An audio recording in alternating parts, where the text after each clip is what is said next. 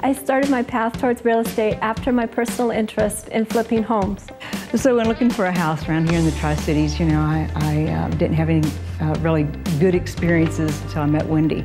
Um, she showed me a house in Kennewick, and uh, right away we had a connection. She wanted to see if I wanted to sit down and have coffee and, and uh, get some more information, you know, see what exactly our family wanted um, in a new home.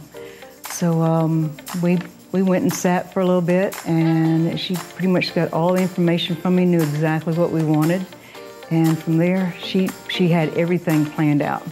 My team member, Naomi Bautista, brings her background in luxury real estate, graphic design, and digital marketing. Our social media focused team understands that the consumer is spending more and more time searching for what they want from their electronic devices. We also find it important to be just as invested in your goals and dreams as much as you are.